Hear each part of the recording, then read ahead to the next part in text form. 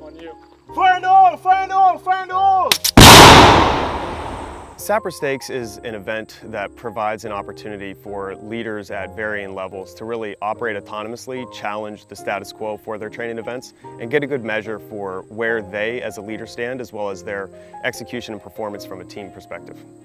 The Sapper Stakes event is really important for the soldiers that are competing because it gives them a good measuring stick for where they stand in their own training and their own performance. Um, it's a good self-reflective look uh, into how successful they are and uh, allows them an opportunity to identify gaps in their strengths and, and opportunities for improvement. So this event has really given a lot of younger leaders an opportunity to kind of step out of their mold and really take that leadership position. Uh, it provides them an opportunity to be dynamic in their leadership and really flex in the autocratic or the democratic ways based on the situation that they're provided. Uh, we've had a number of fairly soft-spoken leaders uh, that we didn't know were, were so excellent and so proficient in their duties uh, until they were presented with a situation where the guardrails were gone.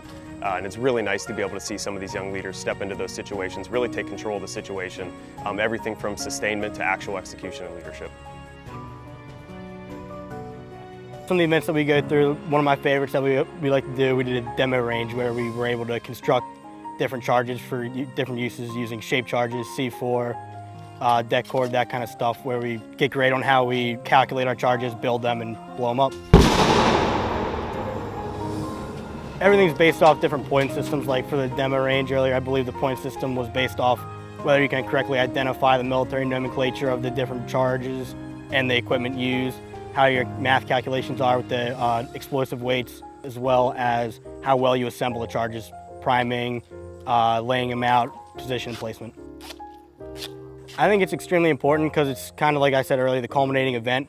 Uh, we practice these skills in a training environment all year from October to September, go through our ECT and all of our battle assemblies, and then we finally kind of, as soldiers, get to show our leadership, this is what you guys taught us, this is what we're doing, and we're ready if you guys need us.